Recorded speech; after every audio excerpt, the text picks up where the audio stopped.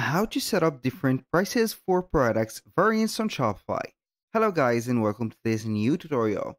In today's video, I'm going to show you how you can set up the price for the product or a specific product and how we can change the variance price of that product.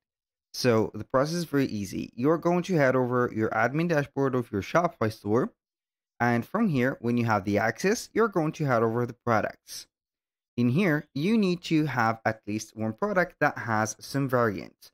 So for example, I have imported this product from, uh, I think, uh, AutoDS or the DSers app. So it is going to be, uh, these apps are going to be for drop shipping only. We're going to select this product and normally we are going to see that we have the product and also the variations. So from here, you're going to see that the product or the unit of this product price is going to be a specific for this specific area and you're going to see in here the variants. So you can edit the variants in here product for each one of them. So you're going to name the variant also add some reference for it and then you're going to set up here different type of prices for each one of the variant. If you want to see that from uh, here at the beginning you are going to create another product or add a product. I'm going to add it in here set up the title, the description, the media, and then the unit price for that product. For example, we are going to uh, sell a product for $100 and we are going to add some variant to this product. So we are going basically here to add the variants in here. As you can see, we're going to see variants. We're going to add more options and these options are going to be, for example, sizes.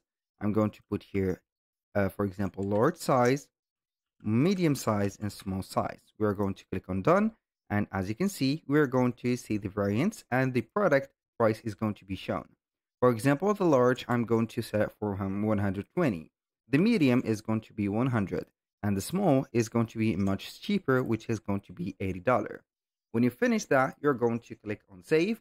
And when you are going to head over, or the client is going to be heading over the product, uh, let's say information or the product page, it is going to show them the variation that are available and the price is going to be changing depending on the used variant. Also, you can add here a, a different uh, variant option in here. So you can uh, add, for example, a color, a expensive color, for example, black, uh, or a specific or a special type of color.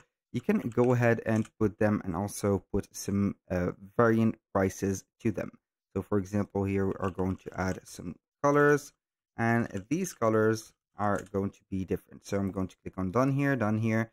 We are going to see all the, as you can see, the colors. So I'm going to select the color and we are going to see all the uh, variants in here. So we can go ahead and click on the group and select the, for example, here, the color. For example, I'm going to put here 110.